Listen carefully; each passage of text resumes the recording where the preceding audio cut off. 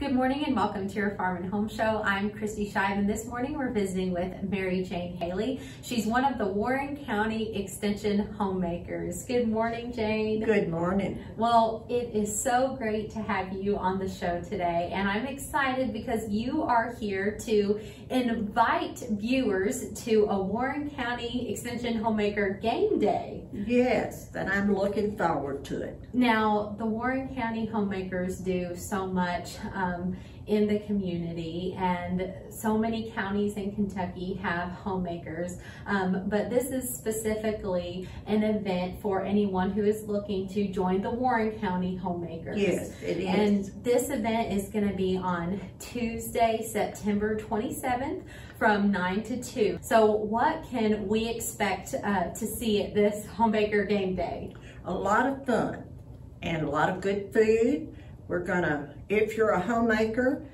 uh, please bring a just some kind of dish. I don't matter what it is. If you're not a homemaker, you do not have to bring nothing. Just come and have a good time and enjoy the fellowship. Now, I always watch you ladies have fun with your different card games. what kind of games will you all be playing? Well, we're going to play a game called Chicken Foot. Of course, that's always a big thing with homemakers. You play it with dominoes. Uh, we played left, right, center, which is another game that you play with dice. We will play cards. We will play whatever kind of games that anybody brings. But it's always a lot of fun. We have a lot of laughs. This is a good day to to see what what you all are all about. Now, Jane, what um, are some of the projects that you have been a part of in the? I've been I've been a member for 50 years is how long I've been a member. Uh, when we first started, it was more of a just lessons. Now it is more relaxed fitted setting. Uh, we do a lot of stuff for volunteers. Uh, we just finished up a few months back. We done 75 blankets for the homeless.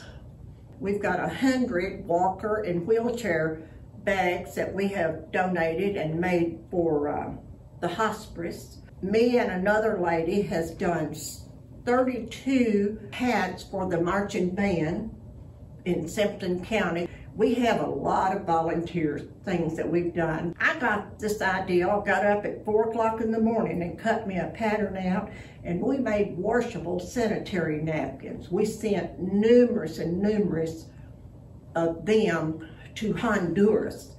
Um, another thing we done, they don't have medical supplies like slings and uh, bibs for the children that has, you know, just this disabled. And we made all of those. We cut patterns and made that and sent a lot to Honduras. Now, Jane, you all, like you said, do so many um, different things for the community and even people in other countries, but you also have a lot of fun. Oh, we do.